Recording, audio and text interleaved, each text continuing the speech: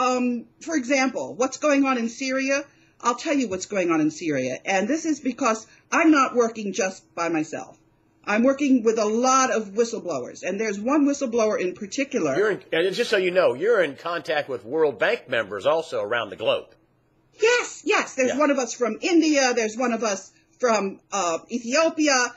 I forgot the last time I made uh, mentioned the list. I forgot one of the best, most intelligent of us is from South Korea, and we are all working together, just like these thugs are working together. But I was going to mention about what Mark told me about Syria. Uh-huh. What's really going on is that there's natural gas, but you have to have a pipeline to get it to the market.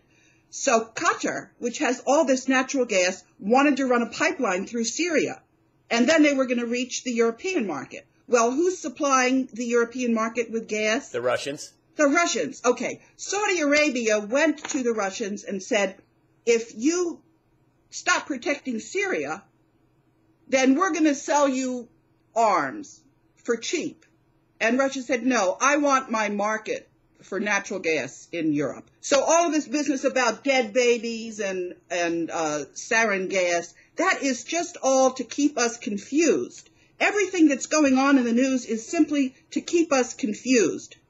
We don't need to be con- confused. What we need to do is we need to turn around to these crooks with the crooks at the very top and we need to say, no.